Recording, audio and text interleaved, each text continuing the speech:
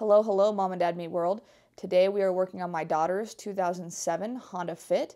We're going to check and refill her AC refrigerant in her car because she has noted that it is not really blowing all that cool now. So one of the first things you have to do is you have to get refrigerant. And if you'll notice here, I have a can of refrigerant that we've checked is the right one for my car. It actually comes with a gauge, which is pretty cool, and a hose with a trigger, which is even cooler. Uh, that is a quick connect adapter.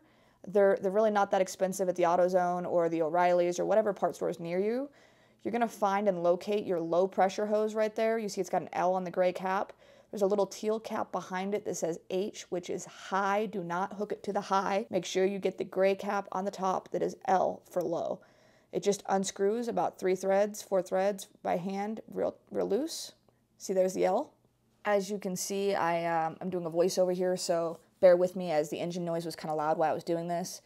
Um, this cap or this piece right here is the quick connect adapter. You just use your fingers and pull it back. It snaps right over top of the low pressure gauge. So you're going to pull that back and push it right down over top and it'll pop in and lock. So this is me doing this all solo. See, I just pushed that nozzle down, push, popped it on, and it, and it, and it locked right in.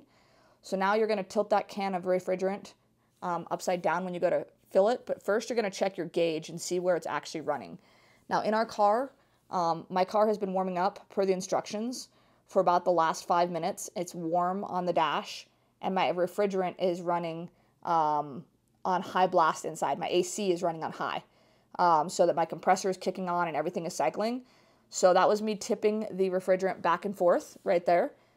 So I tipped the refrigerant back and forth, and then I tipped it upside down to see where it's registering on my gauge. Um, I'm gonna show you guys here a couple times where I just shake it up upside down, make sure it, it is a is it a compressed gas, so you want to make sure that you're spraying the, the refrigerant into your car and not just you know empty air.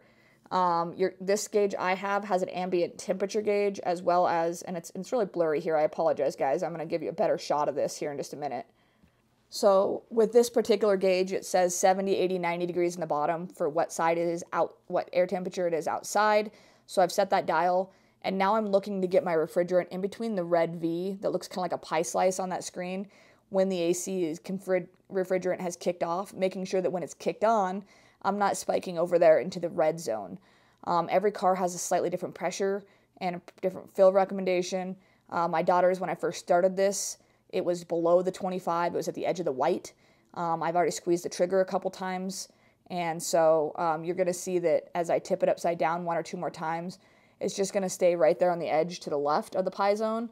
Um, and then as the refrigerant kicks on, it'll it, it spikes to the right, um, more towards the 45 or 50, but it does not pass anywhere outside of that um, that green zone. And so that is all it took to refill her refrigerant. From here, I just unhooked the car.